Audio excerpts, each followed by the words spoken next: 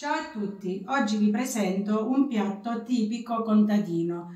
La ricetta l'ho presa nel libro Il nutrimento dei contadini, scritto dal mio amico professor Francesco Galiffa. Si tratta di coste di carciofi con fagioli tondini. Mettiamoci all'opera.